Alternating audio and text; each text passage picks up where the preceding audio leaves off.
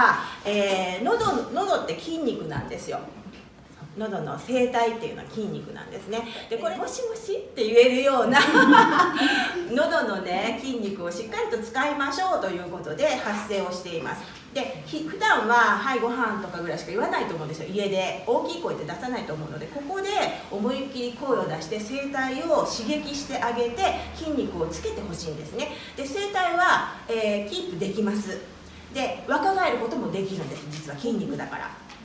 訓練すればですね。ということで一回声出ししてみますね。私の後続いてやってください。もし喉が痛いとか季節の変わり目なのであ私ちょっとしんどいと思ったら声出さなくて大丈夫です。出せる方は思いっきり出してください。はいじゃあ背筋伸ばします。足プラプラせずに足下つけますね。おへその下丹田っていうとこがあります。そこをギュッと力込めますね。女性でいうと子宮をキュッと縮めるイメージです。ですね。でそしたら背筋がグッと伸びますね。首を少しその状態で伸ばします。で右肩と左肩の端と端を一番長いとこまで持っていきます。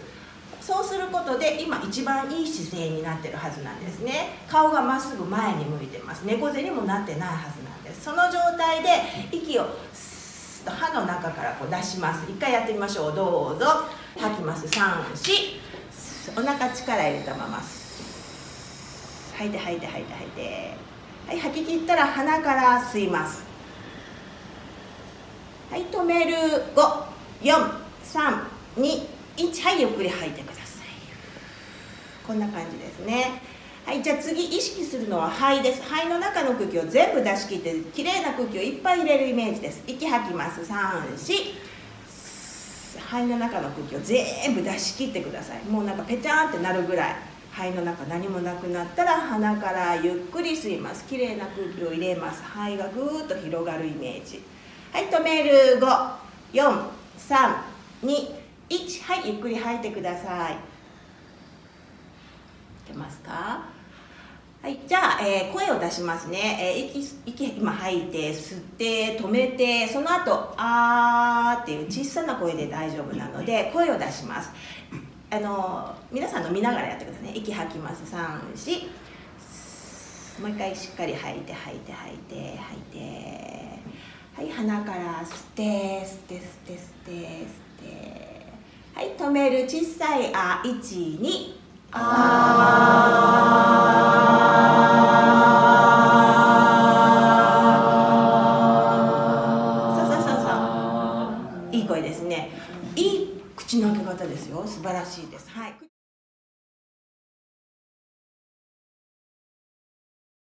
えーと、この人立教大学とか、えー、同志社に行かれてるんですよね。で、えー、27歳で獄中死福岡の刑務所で死んじゃってるという。でこれね私も知らなかったしほとんどの日本人が知らないと思うんです。でも韓国では教科書に書かれてるんですよ。で、えーと、すでにだから学校の教育でこれをもうやっていてほとんどの子どもたちが子どもの時にもそれを習う内容がこのえー、ユードンジュの詩があってね、えーと、学校で習う。韓国の教科書にはもうすでに載っててみんな暗唱するそうです、えー、最後にやる詩なんですけど「星を数える夜」っていう詩があるんですね。一番最後に載ってます。それは暗唱するらしいです韓国の人は。だから日本で呼ばれるとちょっと谷川俊太郎じゃないけどそうやって暗唱させますよね学校で。それぐらい貴重になってる詩なのに日本人が全然知らないって何事だという感じもします。やっぱり日本人も知らなきゃいけないなという内容だったので、えーと、今回ねあの壁田さんから言われてそれを知って今回のこの授業に入れようかなということになりましたのでどんな人かっていうところね。韓国の、えーと、ここの、えー、ずっと書いてるんですけれども韓国併合条例が調印され日本の植民地が支配が始まって1910年から7年後に生を受け日本が敗戦し祖国が解放されるわずか半年前の1945年2月16日27歳の若さで福岡刑務所で極死した詩人ユン・ドンジュ。その短い生涯は全ての民族の暗黒期の中にありその先に来る幸福の喜びの日を迎えることはできなかったっていうことですね。幸福っていうのはこれ復興のことでかつての栄光を取りり戻すことですね。そういうことにはならなかったできなかったんですっていうことでその下、えー、しかし暗鬱で過酷な時代の中でも必ず朝が訪れることを信じ、えー母語朝鮮語で一途に書き続けた、えー、清烈な詩ユン・ドンジュの短い生の証のように残された数少ない詩は没後70年の歳月を得た今国境を得て私たちの心に歴史の痛みを呼び,、えー、呼び覚まし詩に込められた平和への切なる願いが、えー、多くの人々の共感を呼んでいるということなんですね。で韓国では映画化もされてて「ドンジュ」という映画化されてるんですよ。で、えーと、1948年にユー・ドンジュさんのね詩集の「空と風と星と死」という詩集があるんですけど。でベストセラーこれね1位となったということで韓国ではそれだけ知られているということなんです。はい、で、えーとまあ、あのいろんなところがそれでまあ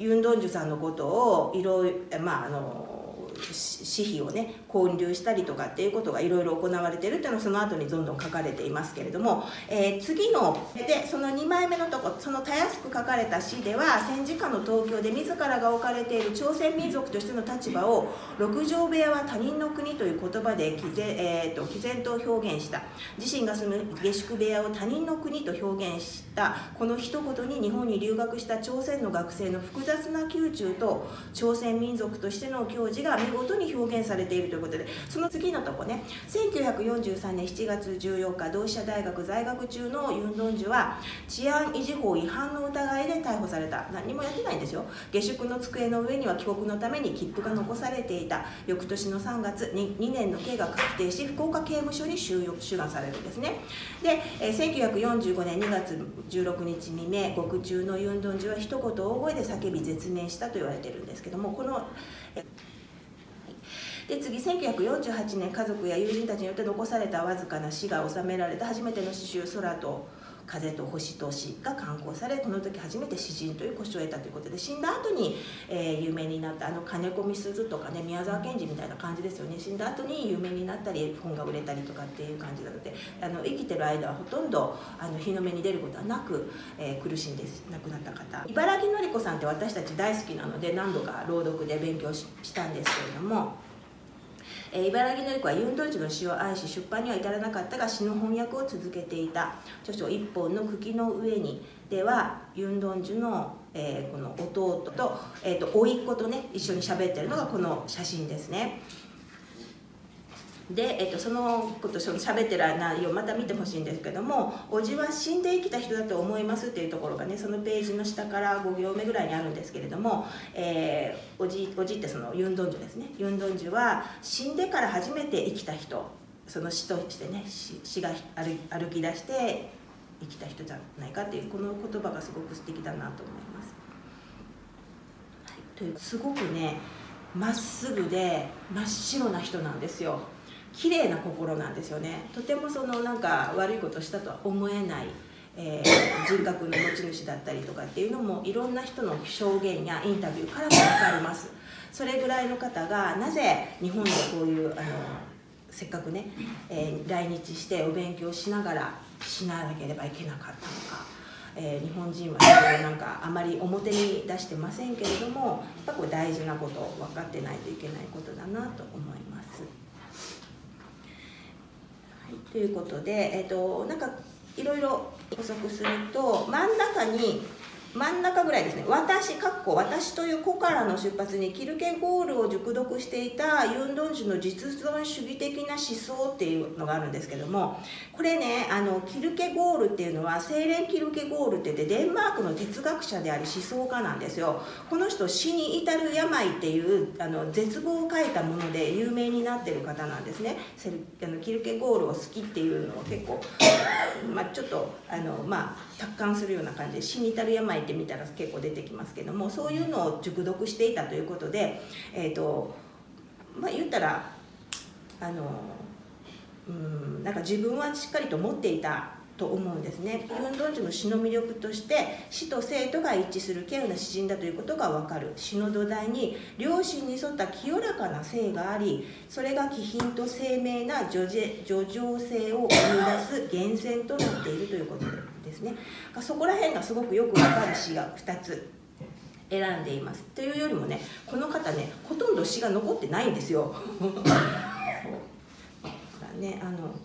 えーと、3年間結局、えーと、1942年の春から1945年。での3年間での今残っているのがわずか5編だけ。全て東京で書かれたもので、えーと、同志社の時に書いてるものは全てなくなってしまっています。東京で書かれた時にたまたま同同室からお友達がいたんですね同じ朝鮮の方の友達が、えー、それを持ってきてそのたった5編しかないですよ日本の。その中のものを読みますので。えー、一回ちょっとじゃあ一緒に。演劇が今度橿原の、えーと、文化大ホールであります「星をかすめる風」というものがあってこれ私も見に行きます。が、えーと、ユン・トンジュさんのことは韓国でとか映画になったりするけど日本でほとんど語られないのにこうやってやってくれるんですよ。でそれがあるっていうのもあって、まあ、あの今回これのねあのチラシも置いてます。であのこれ演劇鑑賞会といってかかべたさんとかねあの皆さん入られてるんですけど そのチラシあったりとか入会あもうめっちゃ持ってきてますけど。あのこれ私も入ります。あそこにもあるんですけどね。あのこれとその前に今度、えーと今月ですね、えーと、ゴッホの舞台劇みたいなものがあってそれも私行きますけどもあのそういうのを芸術鑑賞会の人は偉いなと思うんですよねなんかもう有名なのすれば誰でも見たいと思うのにユン・ドンジュさんをするっていうところがちょっとえ東京まで見に行ったんです。あ、行ったんですか？劇場。よかったですか？ここれをですか？はい。よかったですか？どんな感じですか？泣いた。本当に すごく良かったですね。良さそうなんですよこれ書いてるの見るとねすごいペンの敷いてる。あ皆さん見られたもう見られたんですか？まだ見てな。い代表代表なんですか？そうお世話になります。あ東京で最初にやられたんですか？もうな2年前？あコロナの頃にもねその時にやったの？をこっちに引っ張ってきたって感じですか？いや今再再度そのこあの講演をしてあこれから全国全国へずっと回っていくそうです。そうなんですね。あ12月24日24日クリスマスに。これ1個前かこの「炎の人」っていうこの私もあの入りましたのでこれをこれとこれは見るんですけどね。あのこういう演劇演劇鑑賞会というねあのところもやってるみたいなのでよかったら皆さんもあの手に取ってもらったらなという気がします。はい、ということ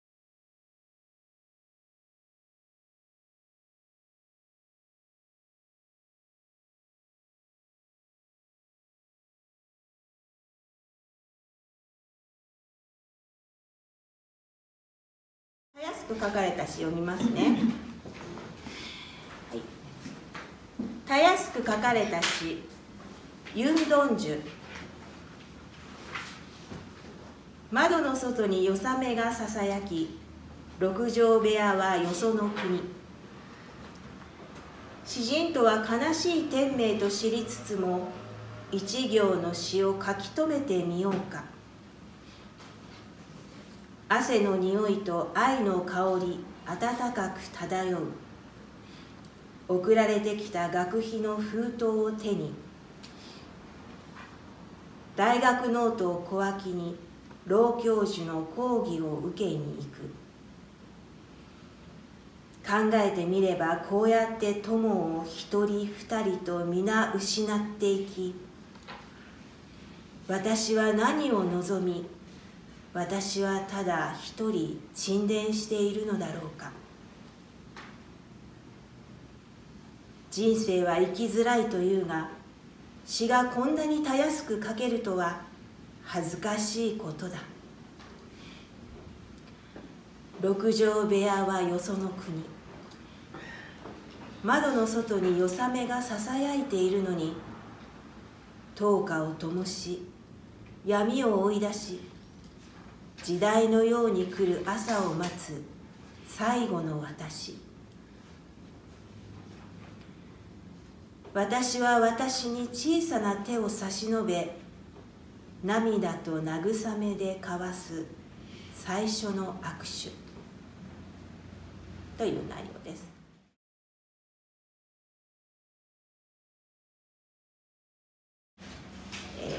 さらっとね、まあ、夜の雨の音が聞こえているところで、えー、朝鮮を支配する日本の六条の下宿にいるわけですよね。でそれはよその国だという表現をしてるんですけども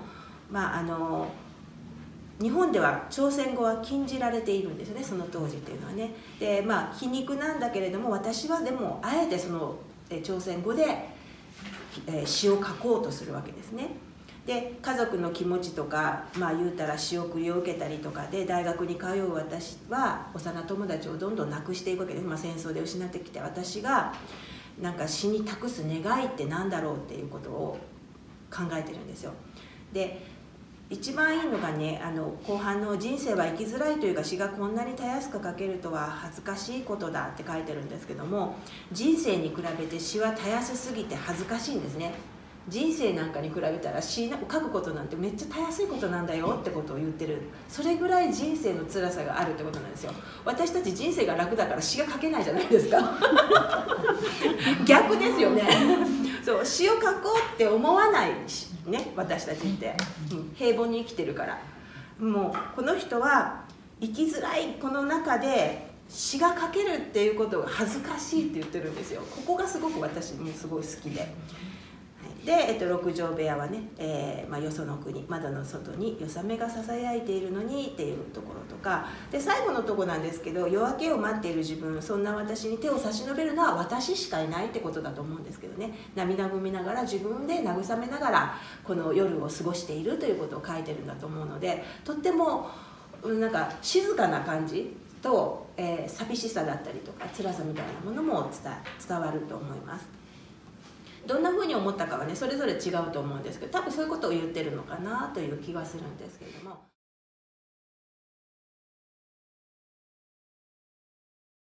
じゃあ皆さんで一回読んでみましょう、えーと、背筋伸ばしてねプリント前に持ってややりましょうか。ゆっくり読みますので皆さん声に出して「たやすく書かれた詩」「トン」「ユンドンジ。ュ」今3四たやすく書かれた詩」「トン」「ユンドンジ。ュ」12窓の外に夜雨がささやき六畳部屋はよその国。詩人とは悲しい天命と知りつつも一行の詩を書き留めてみようか。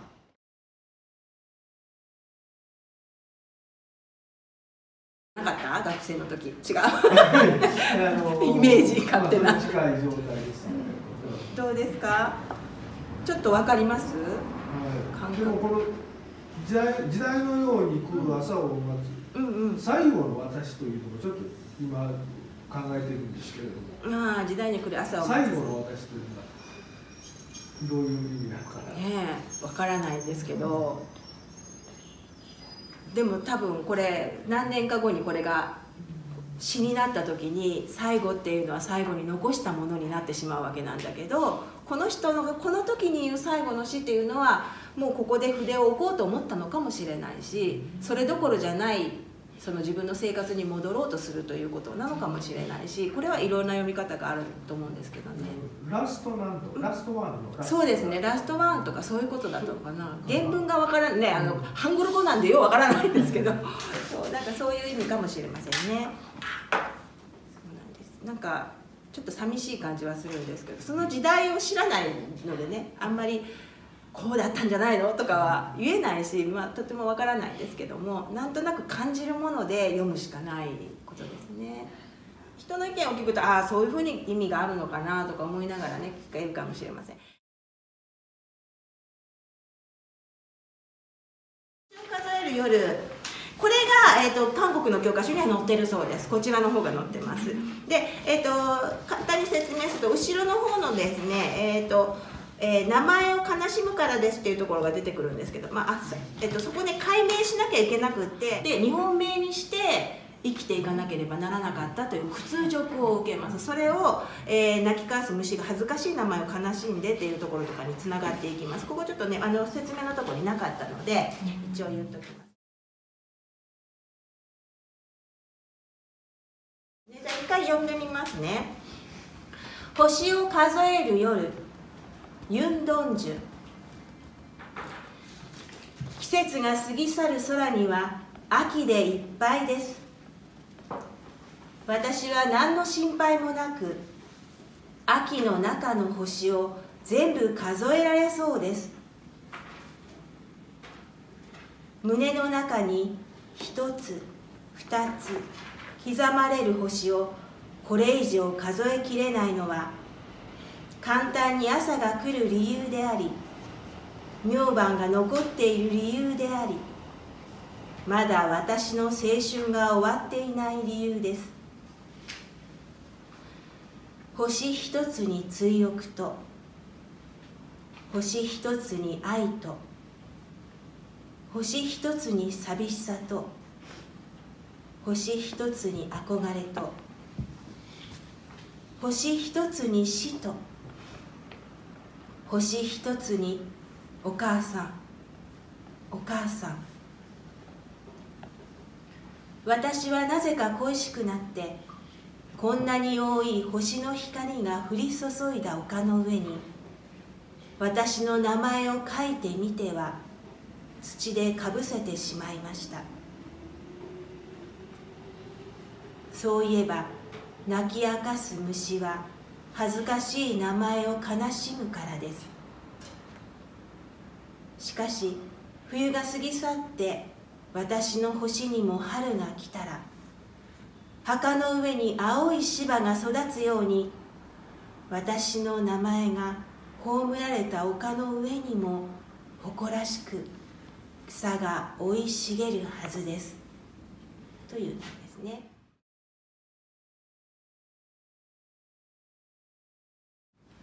ちょっと長いのでね途中省略してます。でえっとこのねえっと右側の一番下星一つに「母さんお母さん」これね「主に」「主に」っていう詩で、えーと、書かれてる翻訳されてるのもあります、えーと、本来は「主に」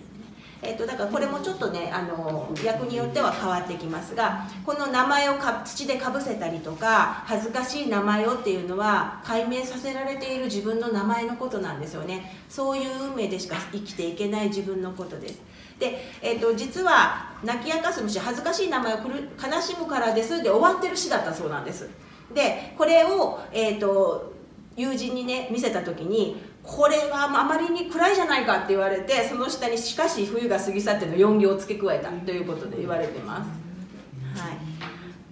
ということでこれも東京で書かれた詩なんですけれども、えー、とても素敵な詩なんですねこれも皆さん一緒に読んでみましょうか。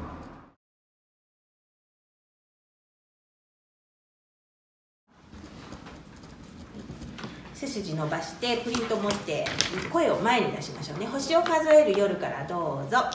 星を数える夜トンユンドンジュ。12季節が過ぎ去る空には秋でいっぱいです。私は何の心配もなく秋の中の星を全部数えられそうです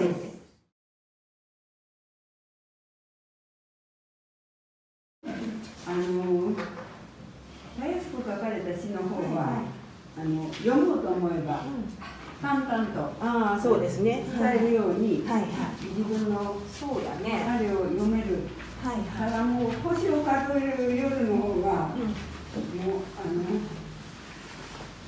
の、うん、星一つ。そうそうここがねどうしても。ここからはね前にあの 感情が入ってそうですよね。声にならないというかただ黙読するのが一番、うん、まあそうですねそんな感じですねでまたちょっとしかしのところからまたよ、